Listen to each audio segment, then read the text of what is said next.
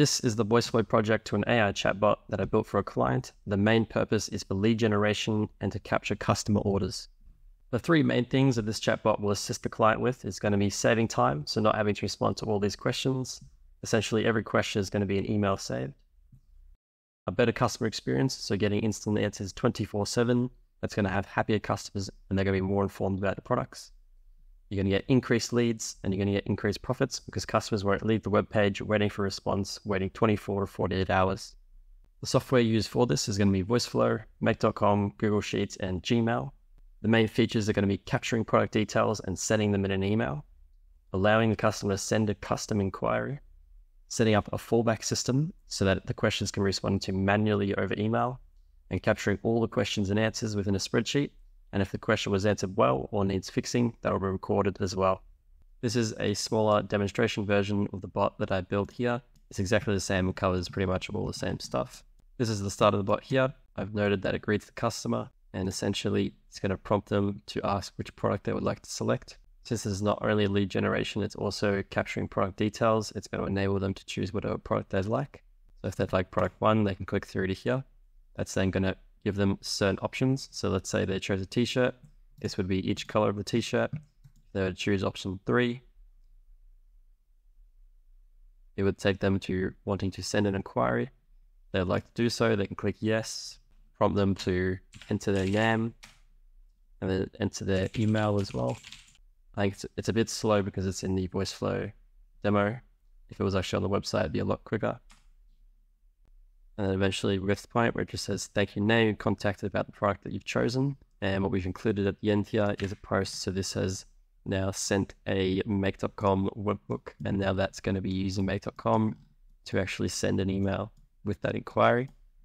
This is quite a simple setup. Essentially, as they click the button, it takes them to a new carousel feature where they can then select their option. It saves this to a variable called product type, and then it just enters that value as a, as a text value.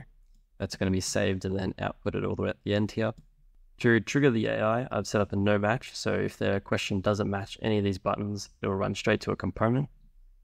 This is the component here. Their question will essentially get thrown straight into the last utterance and run through to the knowledge base. The question they ask, the chatbot's response will all get saved as variables, which can then be sent via a webhook to a spreadsheet. Since the answer quality is unknown, it's recorded as unknown and it will be updated later, whether or not, depending if they believe the question was answered. If the question response doesn't contain contact or inquire, it will go straight to here, which just says, Does this answer your question? Yes or no? If they click yes, it did, they'll essentially end this and send it, send and update the spreadsheet from unknown to answered well.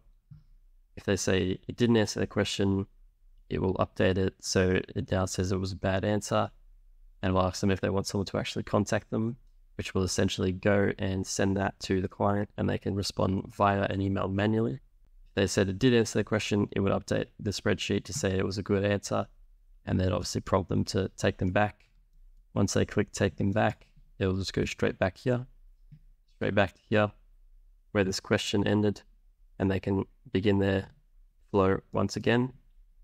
If the customer wants to make a custom inquiry, they click I want to contact someone, which will move them over to this flow here, which is essentially the same as the questions. However, they can actually enter a custom message now. So rather than inquiring off of the question they asked, they can just ask a custom question rather than just capturing this question right away and sending it, what we've set up is that it actually runs that through the AI. So just to double check that if the AI can answer that question, then we'll see if it can.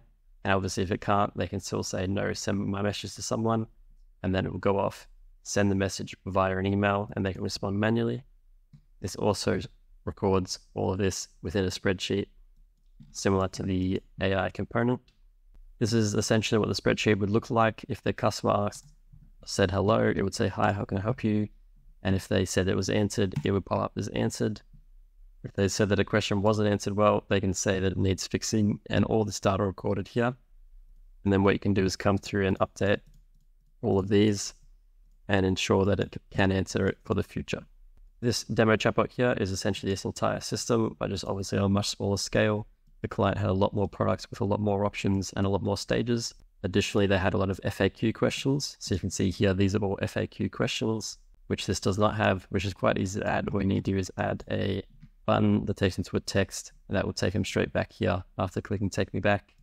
And that's essentially what this entire bot built here is doing. Now it's a very simple integration. If you do want this, I will upload the file and put it in the description for a download.